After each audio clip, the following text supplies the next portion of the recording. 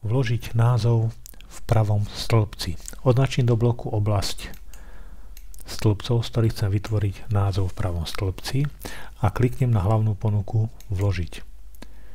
V otvorenej roletovej ponuke sa presuniem na položku názov a v ďalšom narenom okne potvrdím položku Vytvoriť.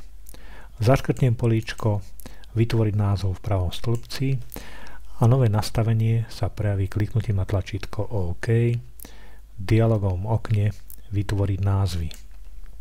Program pomenoval oblasť názvom skutočnosť, ktorá sa nachádza v pravom stĺpci z výberu.